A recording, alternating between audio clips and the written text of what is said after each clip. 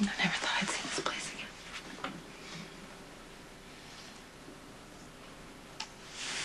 It's over, you know.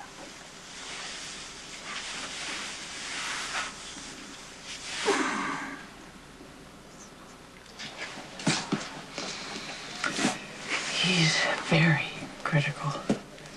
One more heart attack and that would kill him. Is your brother all right? Jason's fine. He, uh, he stayed at the hotel to look for Sam. Help! I need help over here! What'd you find her? She was under a bunch of rubble. She's got glass in her leg. I think she lost a lot of blood. Get back so we can examine the patient. I want to find Elizabeth. Elizabeth, I, I, I will give you a good life. I'll take You care know of I you. can't and- marry you. Why? Lucky and Sam.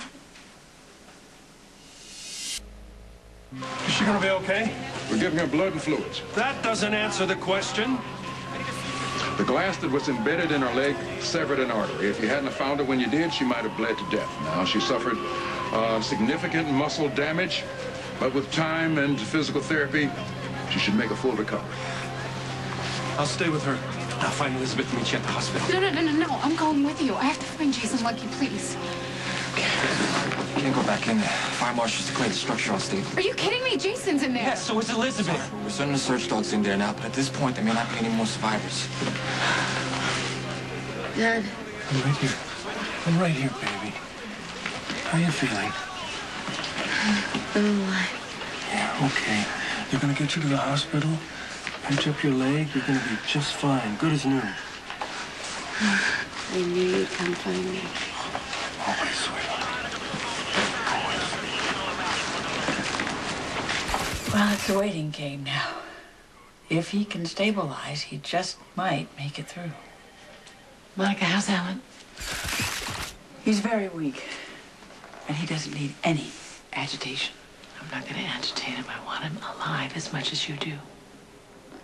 The surgery you performed on Robin was grace under pressure.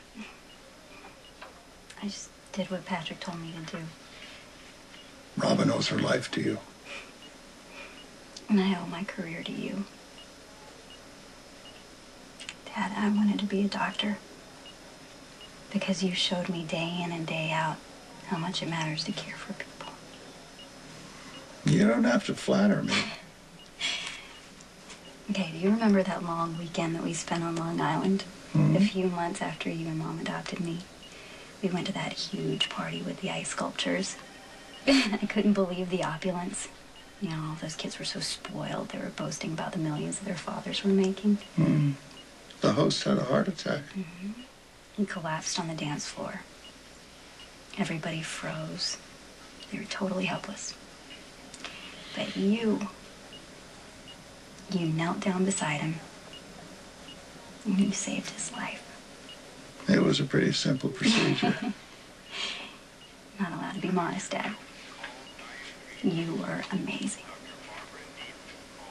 The same guy who used to make me laugh by playing Sidney the Bear was saving someone's life.